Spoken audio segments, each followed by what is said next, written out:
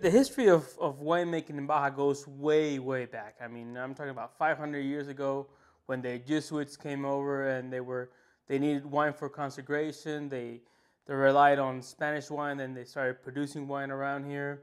Uh, that's how all the European varieties came over. Uh, it was Fray Junipero Serra who who went about and took all the vines and, and started planting all over Baja California and all the way up to Sonoma. So uh, we've been here for a long time. Uh, the Spanish king decided to rip out all the vineyards of, of Mexico, but some survived because Baja California is such an area so far away from mainland Mexico. Most of the vineyards here survived.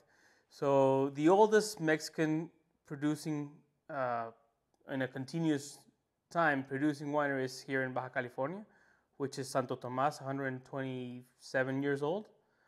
And uh, about 60, 70 years ago, uh, people started producing wine here in the Guadalupe Valley. The Guadalupe Valley is a really interesting area because it was founded by 115 Russian families. They are the Molokans, they are the milkmaids, they, they, they just produce milk. And the, the Mexican government uh, they were seeking asylum, and Mexican government gave them this land because it was so far away from mainland. So we need someone to protect the land. So we they placed the Russians here in the in the Guadalupe Valley, and they started producing grapes. Uh, they were basically a self-sustained community. Then you had uh, big companies, wine companies come by. Uh, Domecq, L.A. Cetto started making wine here. Uh, Formex Ybarra and they and and everything was going good uh, until Monte came by, and we started making really good, high quality wine. That is, uh, well, it was on another level. We were like the boutique winery that started the whole revolution in wine in Mexico, and this was in 1988 or so. Okay, great. The Baja California whole peninsula is it's a unique place in the world uh, the terroir here in the valley is really arid, so we're in a semi-desert-like area.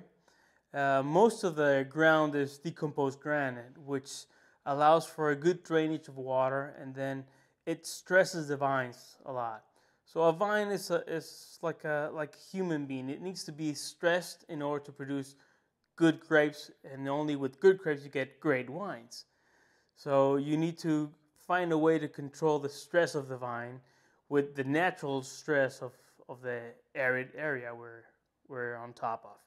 So uh, we do get a, a, good mineral quality into our wines, and our terroir really expresses a lot of what the Baja California area is all about. So it's good, firm, hardy wines. They tend to be really concentrated in aromas and flavors.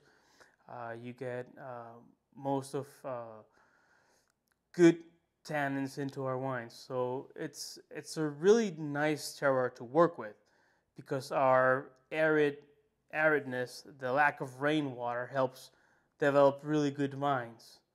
And we are on a on a straight line. We're really close to the ocean, so the ocean influence helps us a lot. Uh, on a summer day, you'll get really hot, which is when the vines need the the warmth and then on the night it'll cool down. That oscillation of temperature that goes from anywhere 110 to 60 degrees Fahrenheit, that's what the vine loves. And, and they, they like that and they make better grapes and more concentrated grapes. That's what we're looking to put into our wines. Wines here tend to be really big, really bold, really concentrated. You feel like there's a lot of flavors put into the wine, and you that is what the terroir expresses here.